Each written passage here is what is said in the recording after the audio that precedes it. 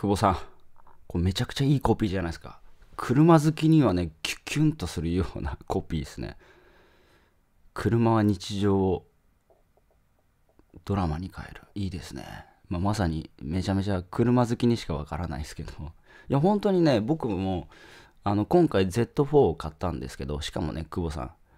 僕がね、これね、マジで選択、なかったものを選択したんですよ。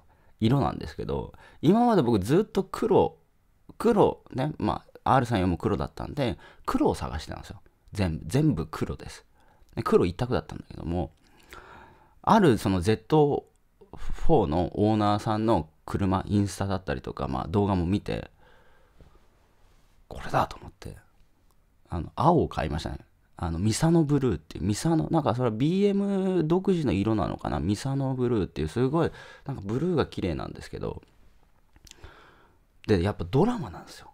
その絵を見ると。だから僕はもう考えましたよね。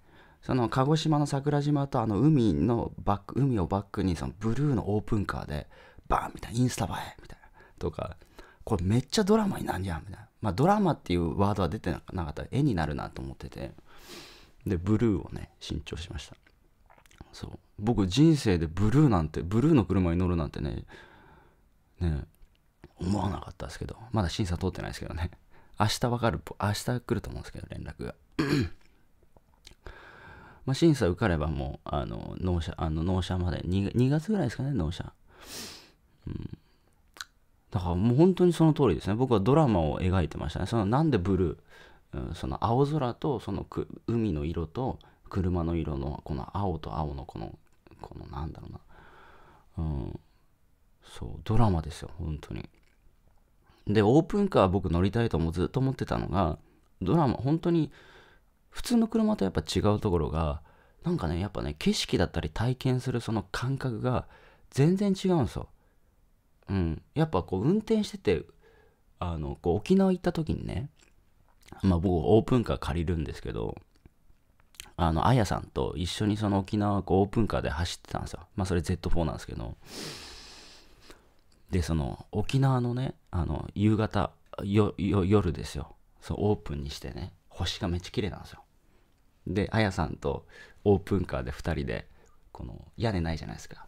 で、星空見上げて、めっちゃ綺麗っすね、みたいな。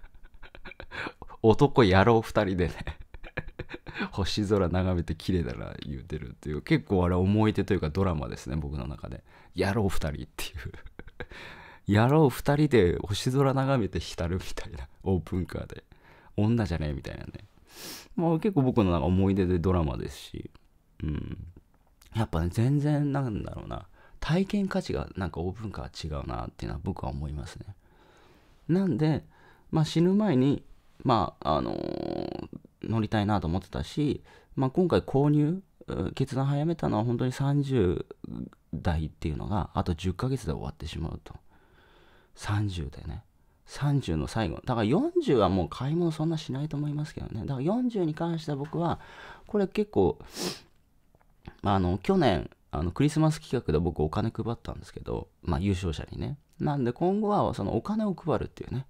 稼いだらそれを還元していくっていう自分のもと欲しいものはもう多分ほとんどないのでだからあの稼いだらそれを還元していくって感じですかねそのステージが40かなと思いますねまあ30代はまだガリガリやりますけど、うん、40代はその視聴者の人にこう還元していくっていうフレーズかなとは思いますけどねだってもう多分久保さんもそうですけどまあ、細いのはあるかもしれないですけど、おまあ車、車もあと100台、車さん、いらないでしょ、100台はね。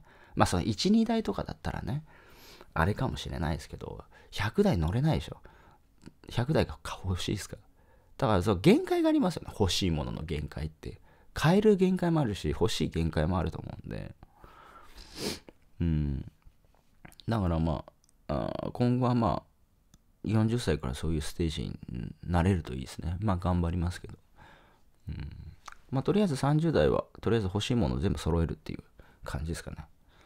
うん、まああの3、4をもう売りますけど、手放すっていうのもあるし、まあ切り替えですね。うん、ただ逆にその3、4に関しては希望金額で売れなかったらまあ保管するっていう計画もありますんで。あのあのなんだつけるって感じですね。うん。まあとりあえず車はドラマにしてくれますよね、これはいいコピー出ましたね。うん。うん。ドラマを変えるって感じですかね。金でドラマは変える。金でドラマは変えるにしましょうか。いってらっしゃい。